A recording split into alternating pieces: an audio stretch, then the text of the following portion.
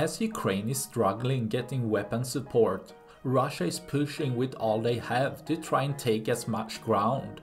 This has seen previous result in record losses and seen once again, with Russia managing to break this record time over time during the conflict. With numbers hard to grasp, they are quickly running down to zero in reserves, with production not nearly keeping up with losses with armored vehicles being taken out fairly easily by Ukraine's drone army, as the thin armor lets the warhead penetrate, causing an internal fire, taking out the vehicle for good, leaving one less for tomorrow.